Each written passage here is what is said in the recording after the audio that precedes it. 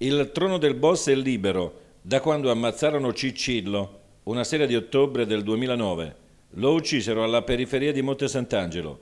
Quattro colpi di pistola in faccia, esecuzione di stampo mafioso. Finì la leggenda. Ciccillo era il capo, assoluto, incontrastato, il capo della famiglia Libergolis, che negli anni 70 dichiarò guerra agli Alfieri e ai Primosa, le famiglie alleate per spodestare Libergolis.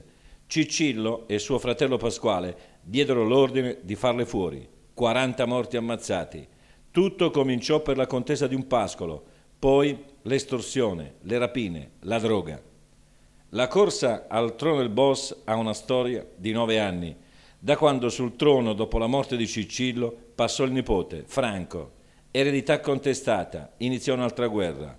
Vinse più battaglie Angelo Notarangelo, detto Cintared, conquistò il trono e il territorio insieme alla sua famiglia, fino a quando lo ammazzarono una sera di gennaio del 2015. Prima lui, poi il fratello, il nipote, il cugino.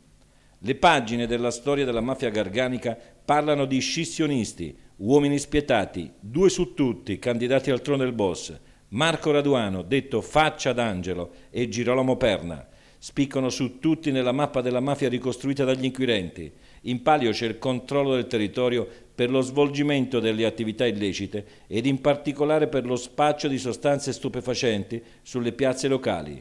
È scritto nelle pagine della Direzione Distrettuale Antimafia di Bari. Il contesto è di chiara matrice mafiosa, circoscritto da una violenta guerra.